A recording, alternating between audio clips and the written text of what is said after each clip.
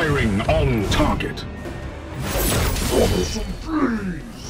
Hey guys, Dantics here. I've been absolutely loving Warhammer 40,000 Chaos Gate. It has scratched the itch for a tactical turn-based RPG that XCOM has left horribly plagued on my skin. Speaking of, the God of Rot and Plague is it again and it's up to a secret order of badass incorruptible space marines called the Grey Knights to take action and scratch the galaxy's itch clean.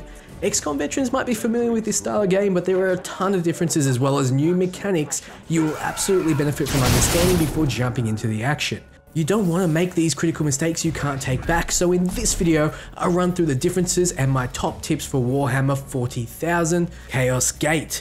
If you want a more advanced class guide, check out my video below, and if you like this sort of content, you know what to do.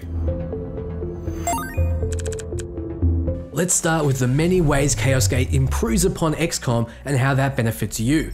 The truth is, it's a nod to the series in a lot of ways, however in others it streamlines a, a, lot of busy work. First, you'll no longer need to reload your save after missing a 95% chance to hit, as there's no longer chances to hit. Instead, when enemies are in half cover, they take reduced damage, and full cover they can't be hit with traditional ranged weapons. Some can, but that's a conversation for another time.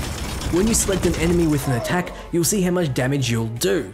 You'll also have a chance to critically hit with some attacks, and you'll see the potential of how much a crit will do next to the damage amount of the selected enemy. These are Grey Knights after all, brother.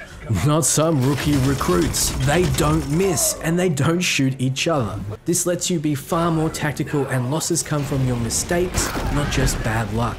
The luck can come in the form of who gets attacked when, by what, what the bloom mutations are, chaos surges, random events and more.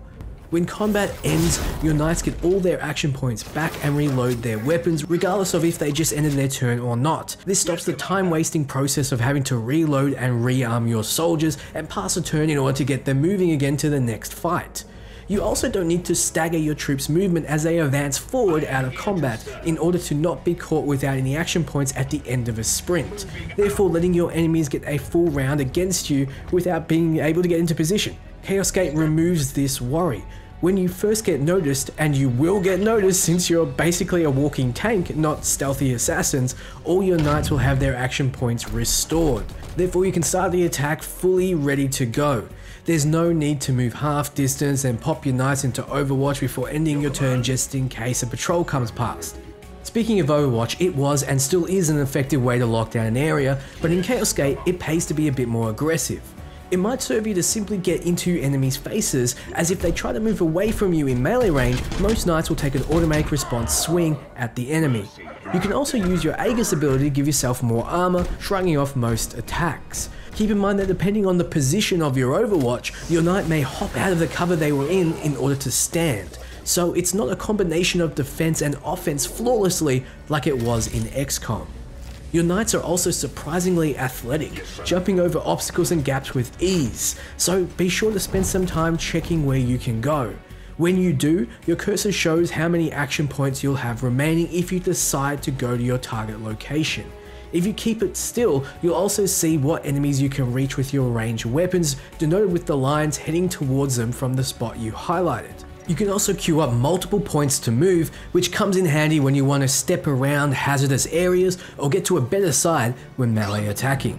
Also, don't feel the need to level up too many knights in Chaos Gate. In XCOM, an injury would have your troops sitting out the fight while they heal, like little children with poor scratchy boo boos. Aww. Oh, your powerful knights need no rest and will fight through any injuries sustained, instead having a temporary negative HP debuff. There'll be a few cases where events will take some knights offline for a while, so it's nice to have maybe 6 or 8 ready to go.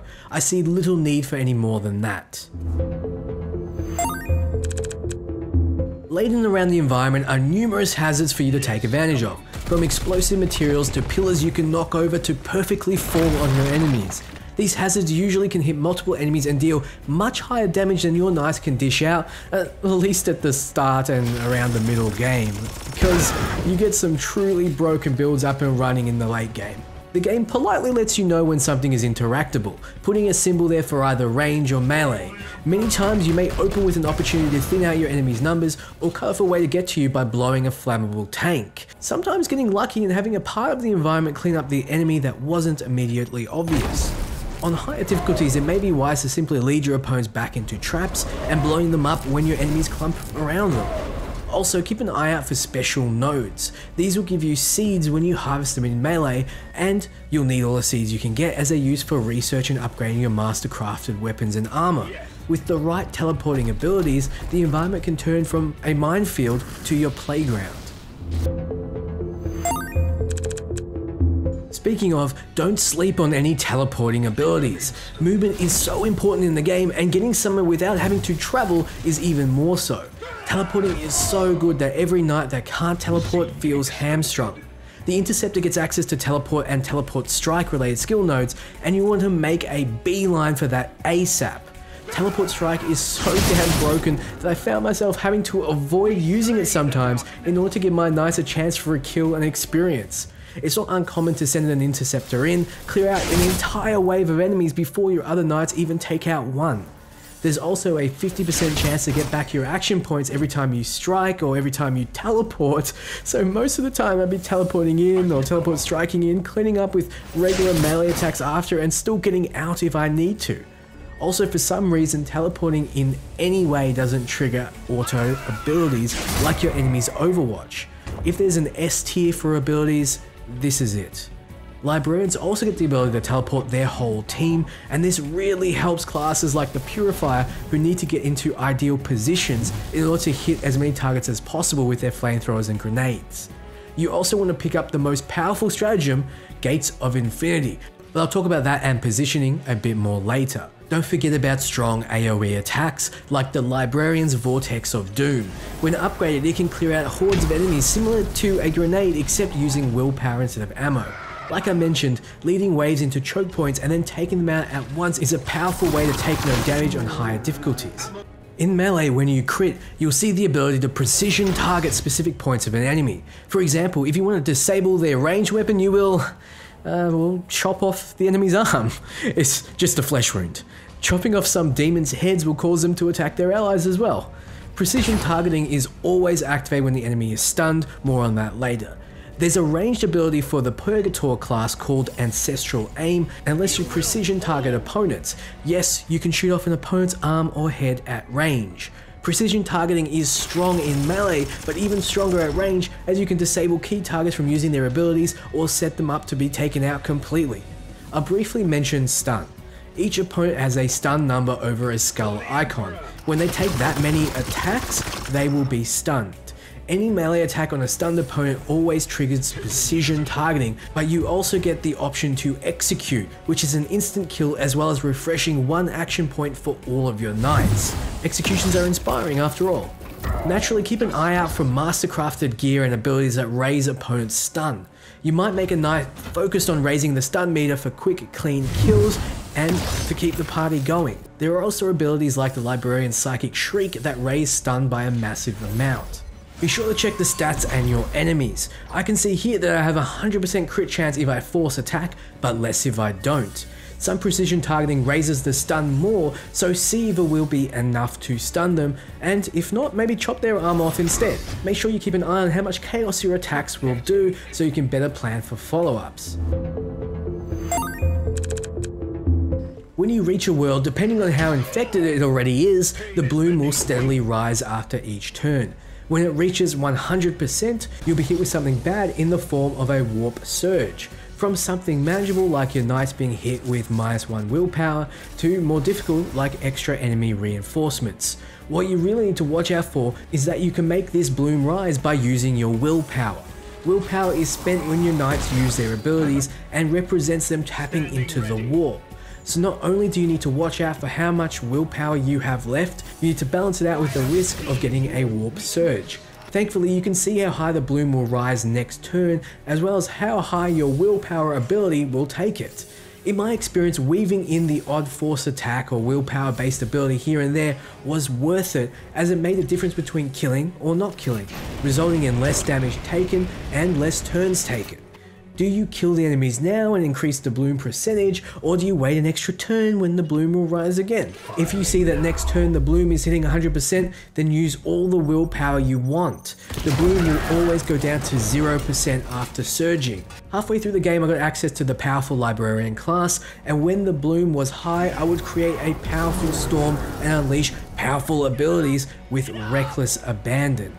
I found some Terminator armor that made it so spending willpower on the knight it was equipped to wouldn't raise the bloom, so naturally the librarian jumped straight in that. In the research tree, don't sleep on bloom suppression. Early on, it may completely stop the bloom from rising on the planet you're on, but later stages, you'll need it to stop being hit with warp surges every second turn. So between that research, the special armor, and some abilities, you should be mitigating most of the problems you'll have with the warp surges.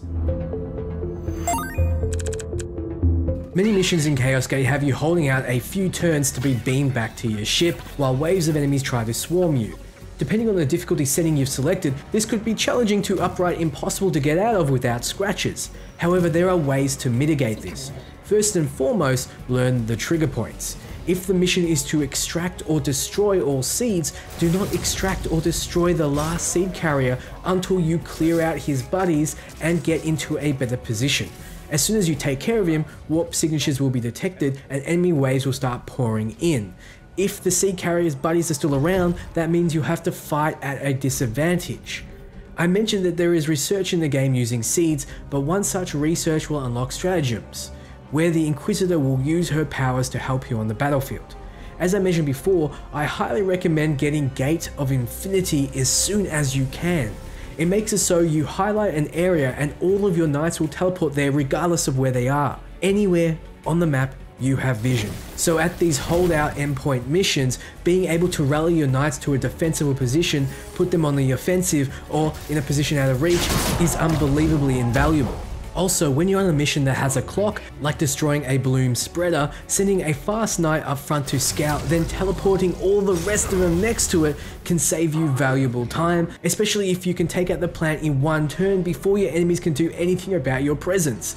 Gate of Infinity is unlocked early and it's the S tier of stratagems as the game itself doesn't seem to know what to do to make it difficult for you if you simply teleport all your knights where you want them. You need particular things on your team if you want to purge all planets of filth. You need a knight that can purge negative effects from both you and your enemies. Healing can be achieved multiple ways from certain classes to servo skulls to stratagems. Make sure you have at least one way of healing on higher difficulties, but it's not so necessarily on lower ones. Finally, getting someone that can either ignore armor or burn through it is invaluable. Some grenades can do this, but in my case, I used a ranged weapon that ignored armor. As you command. If you don't have a good melee interceptor with a lot of crit chance, get a skull that can take seeds from enemies. Having someone on the team that can reliably take seeds is important as it functions as a currency that you'll need in order to research, upgrade, and finish the game. It's also good to have someone to focus on range damage and grenades as both come in clutch. The Purgator can fill this role as their talent tree can focus on both. Soon you'll unlock the Purifier and it can focus on grenades and range damage as well, except it has options to burn through armor and purge. So that's everything you need to know to get started. What do you think? Hopefully this video was of some help to you. I have more Chaos Gate videos on the channel, so for everything RPG, you're in the right place. Ciao friends.